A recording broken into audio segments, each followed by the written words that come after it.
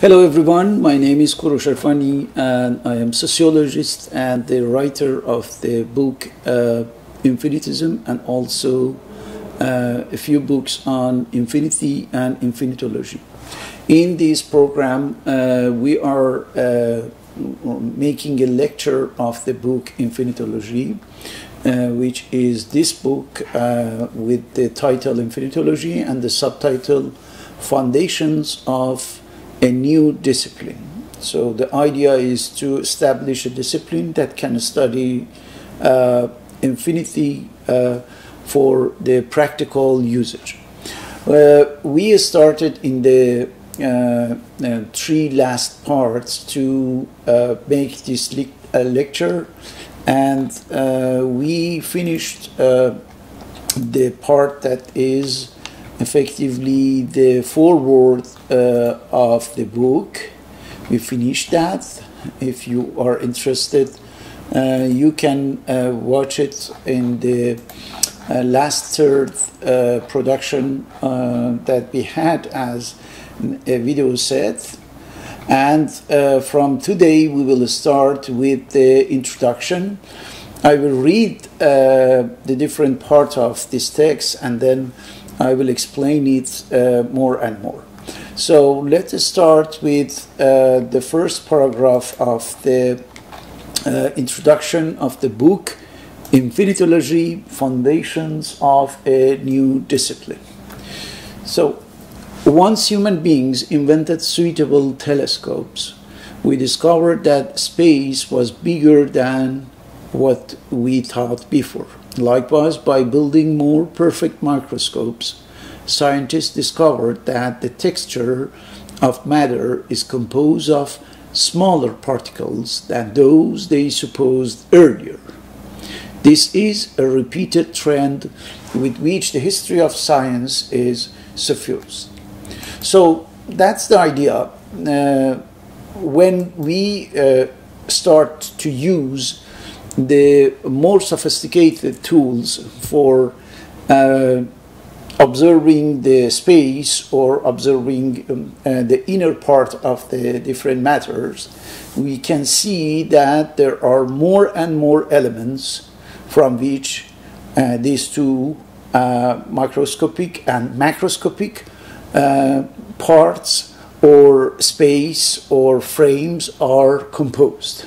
So, which means that if we get uh, more sophisticated tools, we can effectively discover more and more elements uh, that compose space, galaxies, universe, and also the uh, deeper and deeper parts of the structure of matter, right? And that's uh, what we can see in the uh, uh in the history of science and I wrote some uh, articles about that and that you can find in this website and also on the website of the uh, Center for Research and Development of uh, uh Infinitology that I will present later. So let's uh, continue our lecture. From the above historical point, one can infer this basic idea the more perfect our knowledge and tools become, the more constitutive elements we discover in the macrocosm as well as in the macrocosm. So, uh, this is what we see, right? Uh, if you look uh, with all the details necessary uh, at the uh, history of science, you know, astrology, or uh, on the other hand, physics, uh, biologies, uh, and uh, so on, you can see that there would be always and always other new elements that we will discover. So there is a question that will come in our mind immediately when we think like that. That if we get the uh, more perfect tools, we can effectively uh, discover more elements, more components, right?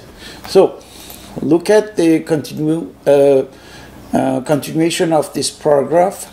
So if we assure the survival of our species with further advancement, we would be able to discover a greater extent of these constitutive levels of material existence.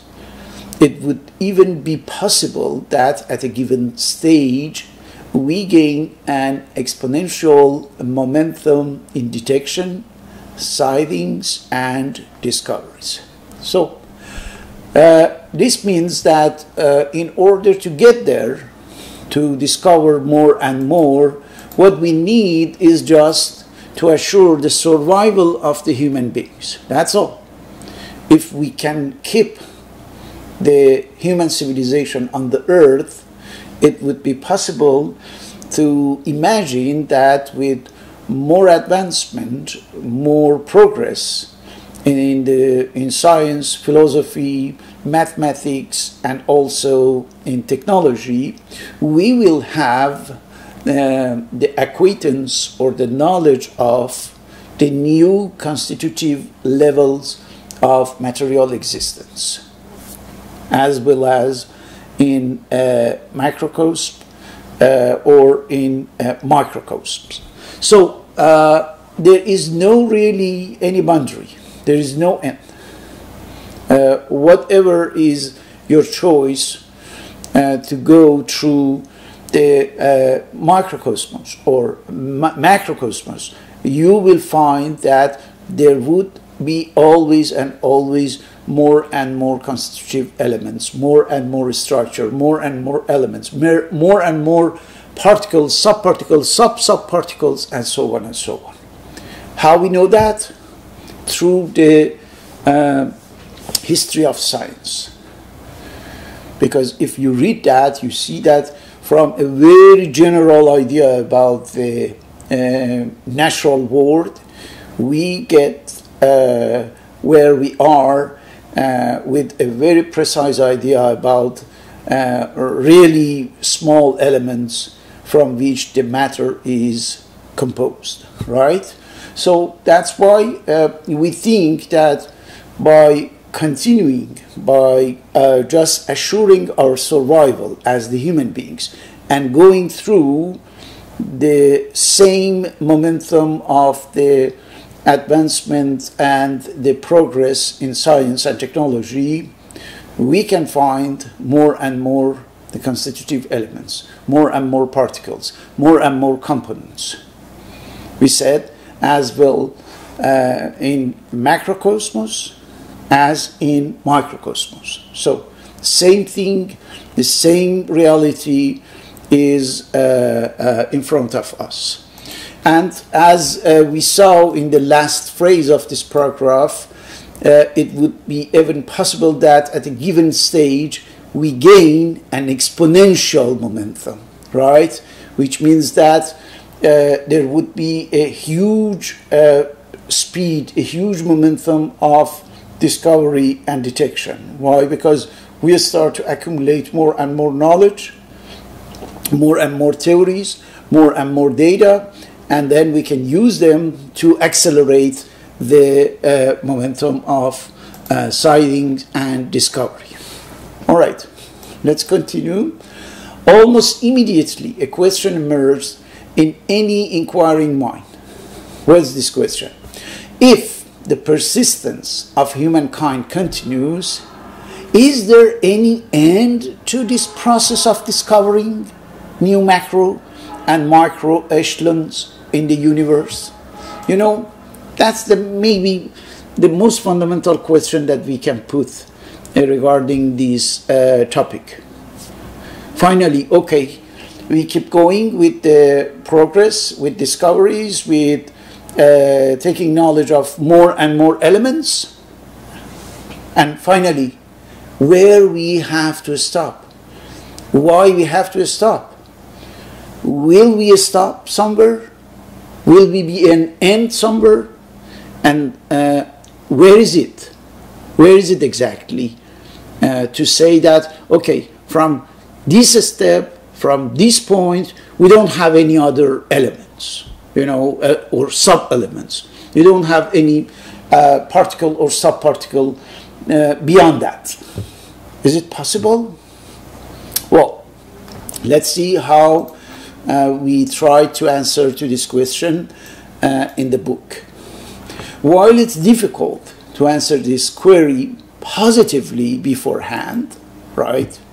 Human history in general and the factual trend of the history of science in particular suggests we answer negatively to this question. Negatively. What does it mean? Means that no, there is no end. We shouldn't be worried about that. If there was an end, we should have touched that uh, before. It's not the case. So that's why we said no. If we keep making headway in science and technology, there would not be any limit to the levels of the structure of matter. And that's a huge claim. What we are suggesting here, you know, very uh, moderately, uh, is, is huge. Is the starting point of uh, all the idea of the infinitism and all the work of the uh, infinitology, which means that uh, there is no any end to our uh, exploration for the matter in the inner uh, structure of the matter in the sub sub sub particles or uh, at the biggest uh, echelon that we can imagine we can imagine but it doesn't depend really on our imagination. It goes on it uh, it keeps going you know with more and more bigger and bigger uh, space or universe. So the idea is that there would be never an end. Uh, neither for the microcosmos nor for the macrocosmos. So we uh, we have to keep in our mind that the idea of infinitism, the uh, basic of the infinitology, is actually uh, uh, not considering any end, any limit, any boundary, any endpoint for whatever is material in the macro or micro uh, levels. That's the idea. That's the main idea. If you uh, uh, grasp this idea, you can understand everything that we are go- going to say uh, regarding infinitism, infinity, and infinitology, right? Okay, let's continue. We said this means that we could infinitely explore the macrocosmos and the macrocosms and the macrocosms and the components that we will find in the larger universe in the small scale version would be infinite. So, whatever is the scale you are exploring, it could be macrocosms or microcosms. Anyway, we can always and always find something new, something beyond. Beyond means smaller in the microcosm and bigger in the macrocosm.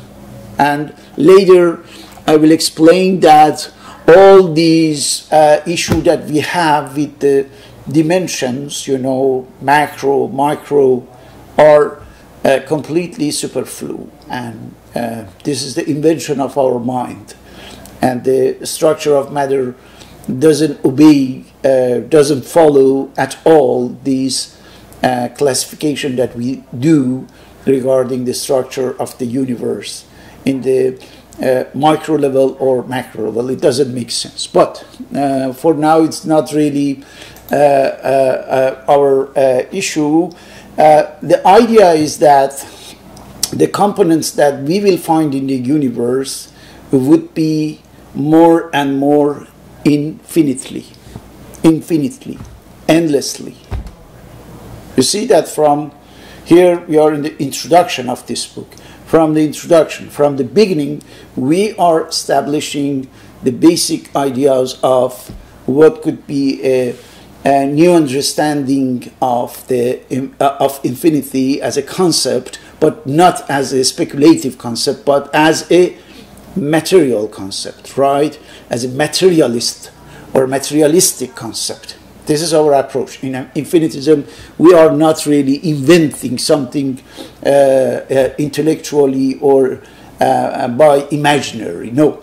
We are touching the reality, we are going through the uh, material world and universe uh, scientifically and uh, with the help of technology, and we try to understand what's going on there in order to establish the basic understanding of what is the infinite.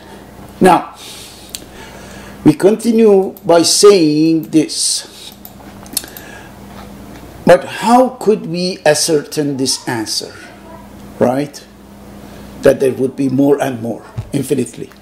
How can we gain confidence in the endlessness of the process of finding something bigger or smaller than what we have already supposed as being, pay attention, the biggest or as the smallest. And we will see later that uh, how it's uh, far from any uh, precaution, right? Uh, far from any uh, well thought uh, approach to talk about the biggest, the smallest. And unfortunately, you will see that this is what the today science is saying. They are talking about the smallest element, the smallest particles. The smallest? What does it mean? When the history of science is there to show us that uh, century after century, right, we got uh, some new uh, knowledge about the new elements, the new particles. So, what uh, smaller? Yes, but smallest? You see, from this uh, initial part, which is not uh, for now uh, more than an introduction, we can see that a lot of ideas that we got as obvious, as evident, uh, for, uh, for ourselves in the scientific community could be effectively uh, shaped by uh, such a philosophical view uh, that asserts that there is no smallest, there is no the smallest, there is no the biggest. So, let's see. To find a relevant answer to these questions, our suggestion is to establish a specialized field of study focused on infinity. You know, we don't want just to claim something, uh, you know, uh, conceptually, speculatively, and conceptually, uh, saying that, okay, it would be this or that. No. We would like to have a methodology for that. We would like to establish a discipline and that can take care methodologically or methodically uh, of infinity you know? And by going through a very uh, serious uh, methodological process to see if effectively we can assert that there would be never uh, any the biggest, the smallest in the universe? Is it true or not? We don't say that uh, there wouldn't be, but we said that uh, it could be, but we have to verify that. And in order to verify that, we need a discipline. We need a uh, institutionalized, well established uh, uh, framework of study of infinity. And that's why we are suggesting that here in the introduction. A discipline that takes into consideration the features of infiniteness and its modus operandi. Modus operandi, and the, the way that it operates. Inside matter. How the infiniteness is going on inside matter, within matter. So, how we call this discipline? We call such a discipline infinitology, right? What is this? It's a multidisciplinary field where philosophical theorems open the way to scientific discoveries, and these latter help technology bring forth the necessary tools for more efficiency. So you can see that from the beginning we are uh, funding this discipline on uh, three uh, foundation, right? In the uh, three solid uh, ground. First, philosophy, in order to give us a very large idea, and then science, in order to make the discovery uh, the different discoveries that are necessary to affirm or to verify our hypothesis, and finally technology in order to provide the tools, because we need a lot of tools for that. So that's a multidisciplinary uh, field. Even though we talk about a discipline, but this discipline includes all of this philosophy, sciences, and also technologies. And that's the interesting part of this adventure. So now, infinitology needs to be powerful and well connected disciplines since it wants to drive beyond any other specific uh, knowledge of the universe. So we are talking about something that goes beyond the frameworks of any science, right? So that's why we need also uh, philosophy, because the philosophy has this capacity of, you know, going beyond the specific uh, matter, the specific uh, fields uh, where this or that science is operating. Now, we said it should embrace all the scientific acquaintances and at the same time sorry at the same time it goes much farther than each of them. Um, not only we use the different scientific acquaintance the different scientific disciplines but also we go farther and further right? Infinitology presents the most challenging undertakings a new discipline has ever faced, right? So that's why from this uh, beginning, that's the first book we published in 2021 regarding the, this new discipline, infinitology. From these uh, first steps, we are aware that uh, that would be a real challenge so that's why we call that the most challenging undertakings a new discipline has ever faced, right? And because any other discipline has a specific, has a very defined uh, field of study, but here we are talking about something that is essentially, substantially, and conceptually huge, infinity, uh, infinito logic the knowledge of infinity. So that's why uh, it's a question of a, a real uh, a real challenge with multiple, you know, uh, sub challenges, and that's why uh, uh, we want to elaborate it in the frame of an institution, and uh, we try to get through this institution by creating a center that is called the Center of uh, uh, Research and uh, here uh, let me show you in the home. Here we are. Uh, the the crdi.com uh, gives you brings you to this website the Center for Research and Development of Infinitology. and you can find uh, many many ideas uh, and articles paper papers books uh, journal uh, uh, etc on this uh, challenge on this discipline that we want to create in order to study infinito, infinity and see how we can effectively apply our knowledge of infinity in the real world how we can get some mastering of matter, the material world, by having this idea that there wouldn't be any end to the structure of matter, right?